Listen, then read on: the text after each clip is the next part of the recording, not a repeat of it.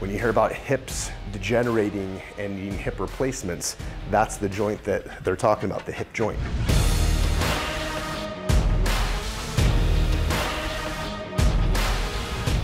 Hey everyone, Dr. Todd from Gonstead Spine and Wellness. And on today's video, we're gonna talk about the one movement, the one motion, the one basic pattern that you must know to finally conquer low back pain. But before we get started, make sure if you haven't subscribed to our channel already, go ahead and click subscribe, turn on notifications so that you will get notified when we make these new videos. We come out with several each and every week. Make sure you like this video, please. Comment, let us know what you want to see more of. Comment to this, this actual topic. Let us know about your low back pain or things that you've tried or questions that you have. And share this with others that you think this will be helpful for. We serve two audiences. One is our clinic out here in Meridian, Idaho, Gonstead Spine and Wellness. The other one is Move Now University. We teach chiropractors how to put functional movement and corrective exercise into their practice. Check out the links below respectively for each one of those. So we're gonna get started here. I'm holding a spine. I'm holding a PVC pipe because I'm gonna talk about a very important movement probably the most important movement. It's one that we teach all of our patients in the very beginning of their corrective care process. I have a kettlebell over here on the floor and I have a black band that I'm gonna use too, okay? So those are all my props for this video. I'm gonna explain all this step by step. So let me put this down. Let me show you a couple basics on the spine here. So this is the front, this is the back. You have 24 bones in the spine. You have a cervical spine. There should be more of a curve in here. There's an iron rod inside here that I can't really bend. This is a very old school spine. So you should have more of a forward curve in the neck. You should have a backward curve in the mid back and then a forward curve in the low back. There should be a certain amount of tilt in the pelvis, not too much, not too little, okay? If we wanna really break it down, Chiropractic Biophysics has the best model. It's called the ideal spine model. They have found and shown 40 degree sacral base angle, which dictates how much tilt there is in the pelvis. Okay, so I have exactly a 40 degree sacral base angle, so just study exactly how I look, and that's how you, how, you, how everyone wants to look as far as your sacral base angle, which you can't really see this just visually, you have to see it on x-ray really. But anyway, right here, if you look at the crest of the ilium, if you look at the, this, this bony prominence up here, and then here in the front, they should have a slight tilt where the back is a little bit higher than the front. Some say about an inch offset from, from front to back. This is just a way of eyeballing it, but there should be a tilt, okay? There should be about a 40 degree curve in the low back, a mid 40 degree curve in the mid back, and a 30 to 40 degree curve in the neck. So if you want to just memorize something about 40, about 40 degree curves all the way through. Okay, that's the strongest position for the spine and the body. And what we're gonna talk about is the movement that you need to master, you need to understand to really conquer and, and, and, and understand low back pain. And so let me just tell you what joint that is. That joint is the hip. It's understanding how the hip moves. Now, many adults, men and women alike, probably worse in men, but you see this in women too, they get very rigid and inflexible, immobile in their hip. Okay, so the hip allows you to do a movement where you can keep the spine totally neutral and you can bend through the hips. Now, that requires you have a certain amount of elasticity and mobility in the muscles in the back of your leg, in the back of your calf, in your entire spine region called the posterior chain. So you should have enough, enough strength, control, and mobility in this musculature to allow you to come in, in, down into this position. You should have enough mobility in the femoral acetabular joint itself, the hip joint.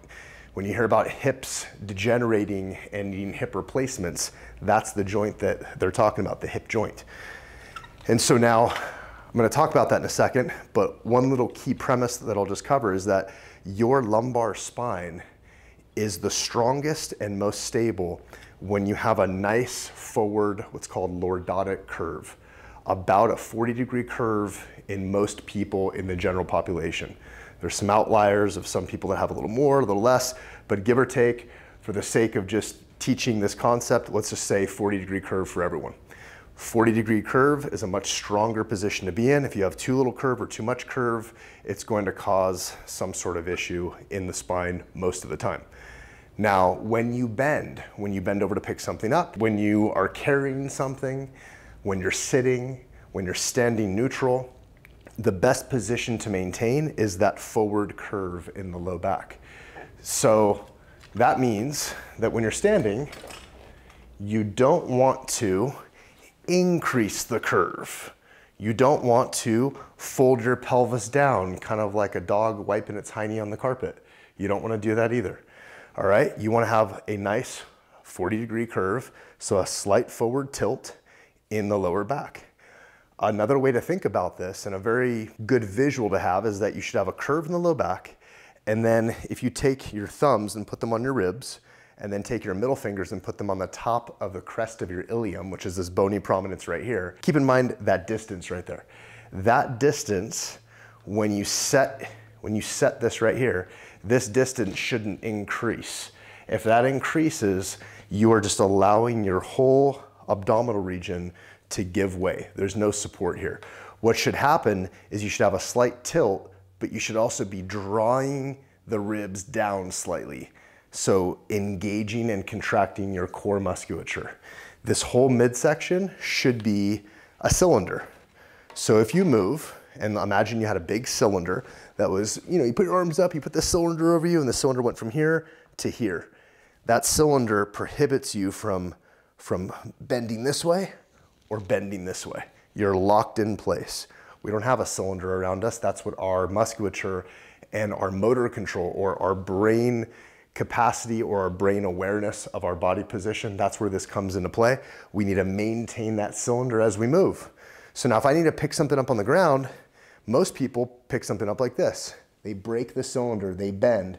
They're not flexible enough in here, they're not mobile enough in here. They bend at the spine, they pick something up, they screw up the alignment and integrity in their spine now. They blow out a disc in their spine because they folded forward at their lumbar spine.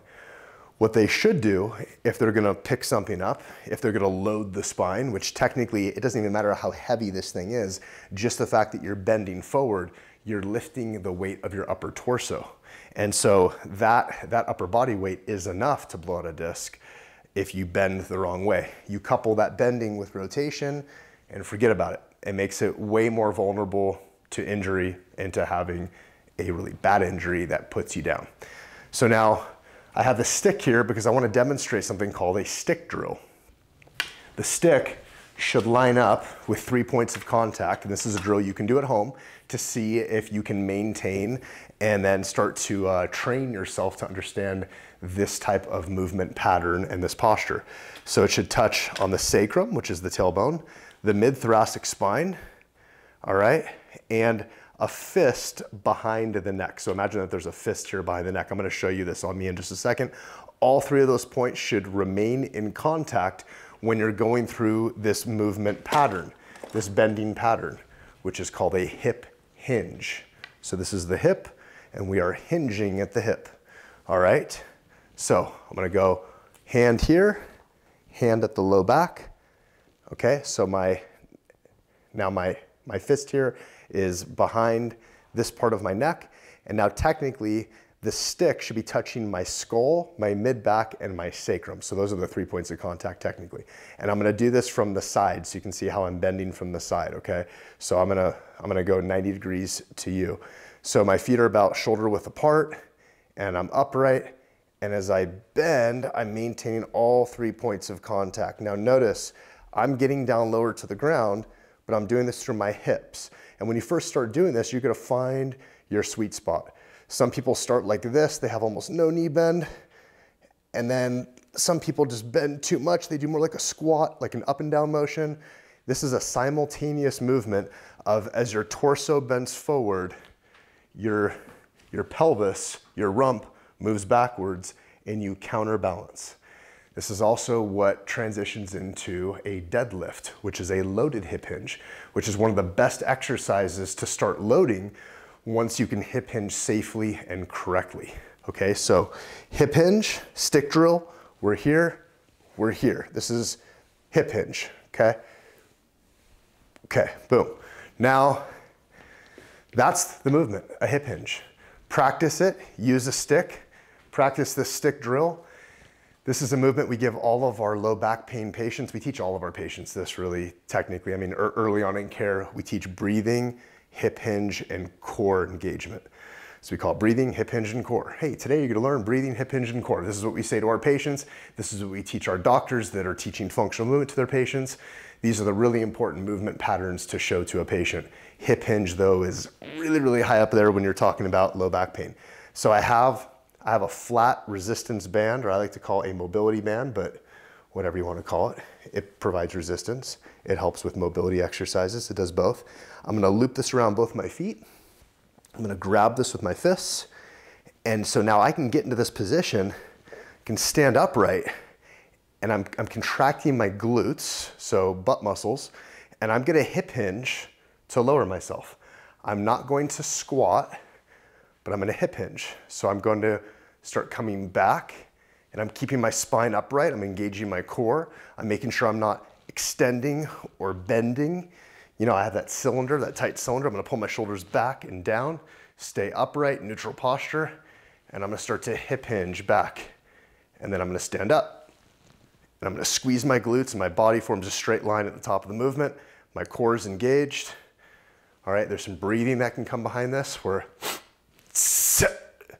at the end, that, that sound, you contract at the end of that, that sound, that's a kettlebell type of thing. It's a martial arts type of thing.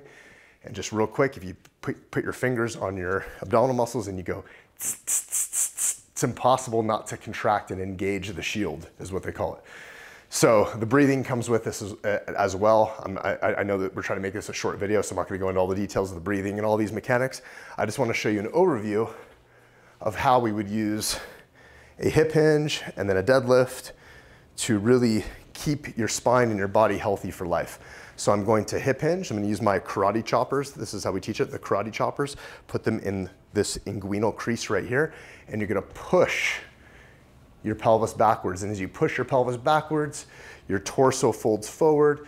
Don't be afraid to bend the knees. Just don't get into an up and down squatting pattern, okay? So I'm coming back. I'm reaching down for the kettlebell. I'm grabbing the handle. I'm gonna sniff in through my nose. And I come upright. And as I come upright, contracting the glutes, body forms a straight line. Shoulders are retracted and pushing the kettlebell down, looking straight forward. Not up, not down, with the neck. And I'm gonna come right back down into that deadlift position. Okay, so this is a weighted hip hinge. It's called a deadlift. That pretty much rounds out the Cliff Notes version, the quick tips, just an overview just to introduce you to the most important movement pattern that you must know to conquer low back pain. I hope this was helpful for you. Please comment below, ask some questions, let me know what you thought. Let me know if you want to see us cover any other movements or any other topics. Subscribe if you haven't already. Dr. Todd from Gonstead Spine and Wellness and Move Now University. When it comes to the health of you and your family, results matter most.